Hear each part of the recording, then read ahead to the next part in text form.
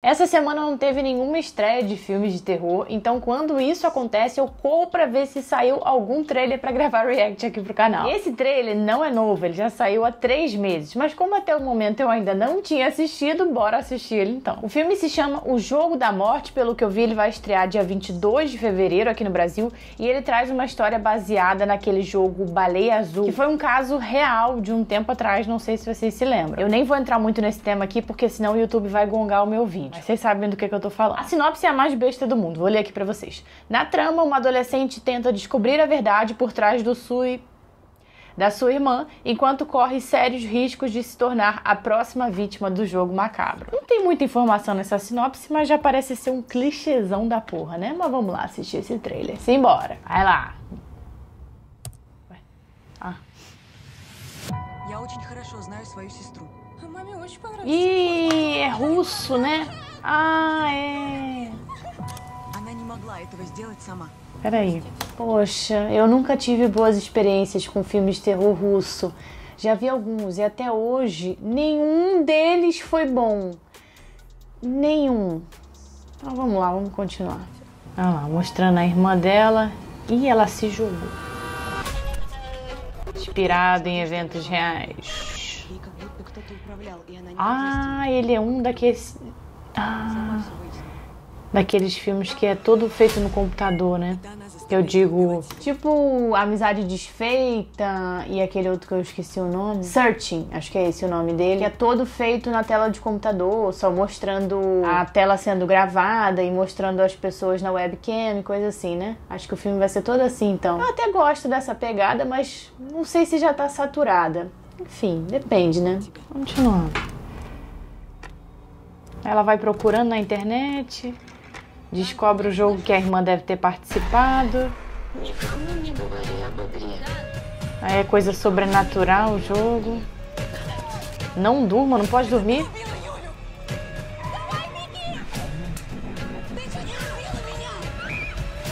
O jogo da morte. Breve no cinema. Vamos lá. A irmã da menina morreu, todos sabemos como, não vou repetir para meu vídeo não gongar. Ela achou que a irmã não teria feito isso sozinha, que ela estava sendo influenciada por alguém, então ela foi lá mexer nas coisas dela. Achou que tinha alguém, na verdade, controlando ela, ou seja, ela automaticamente já acreditou que pudesse ser algo sobrenatural, porque se tem algo controlando a irmã dela, né, como se ela tivesse entre aspas possuída, mais ou menos assim, é porque era algo sobrenatural. Então ela já foi de mente aberta aberta, né?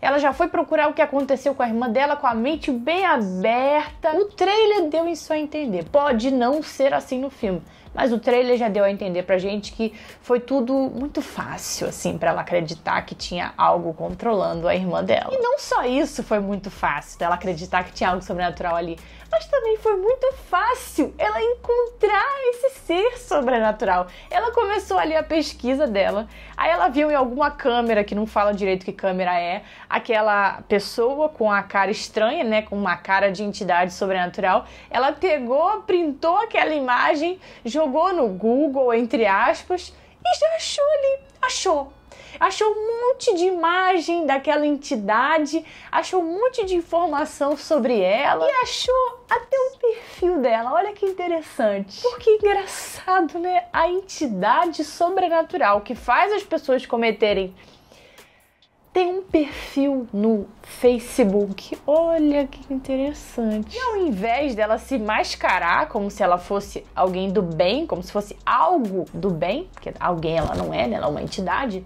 ela bota uma cara bem feia no perfil dela. Uma cara bem feia! Ou seja, ela não espanta as pessoas com aquela cara feia. Ela chama as pessoas. As pessoas querem fazer amizade com ela, querem convidar ela para ser amigas lá no Facebook. Ah, gente, pelo amor de Deus. Se você é uma entidade sobrenatural que quer enganar as pessoas para elas cometerem você não vai botar uma foto feia na cara do teu perfil. Você vai botar uma foto de anjo, uma foto de olha como eu sou um ser celestial. Você não vai botar a cara de uma entidade maligna. Enfim, eu já me revoltei com isso. No momento em que eu vi ali, qual o nome do perfil? O nome do perfil da entidade A da Morte.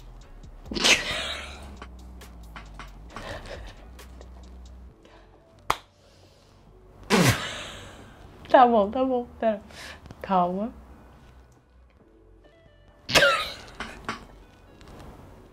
Vamos lá. Como é que essa entidade, alguém responde pra mim, consegue enganar alguém? Me fala! O nome é A da Morte. E a foto do perfil é um bichão, assim, muito feio, uma claramente uma entidade sobrenatural. Tá. A gente pode também pensar na possibilidade de que ela nunca tentou enganar ninguém. De repente, ela estava lidando ali com pessoas que já estavam num estado emocional ruim, né? Que a pessoa já não estava legal. Mas a irmã da menina parecia estar muito bem. Tanto é que ela mesma estranhou o fato da irmã cometer. E mostra pra gente no trailer a irmã toda feliz, tranquilona. Então a irmã não tava mal. Então não faz sentido também. Nada faz sentido. Eu não consigo nem explicar mais. Enfim, o trailer é curto. Ele só tem um minuto, mas ele conseguiu não fazer sentido e não ser interessante em um minuto. Gente, assim não dá. Assim, os filmes russos não conseguem tirar essa fama de serem ruins. Tem como. Nem o trailer é bom, cara. Nem o trailer consegue enganar a gente para fazer a gente assistir o filme. Porque eu não vou assistir essa bosta, cara. Eu não vou assistir. É isso. Se você for assistir, volta aqui para me contar o quão ruim é. Eu nem vou perguntar se você gostou ou não. Eu só quero que você me diga o quão ruim é. Só isso. Enfim, aqui nesse canal tem outros reacts de trailer de filmes melhores que esse. Vou deixar eles aqui ao lado até para você ver, porque não é possível, cara. Possível! Se inscreve aqui no canal, porque se você abriu esse vídeo é porque você gosta de filmes de terror. E se você gosta de terror, você está no lugar certíssimo. Beijinhos e até a próxima.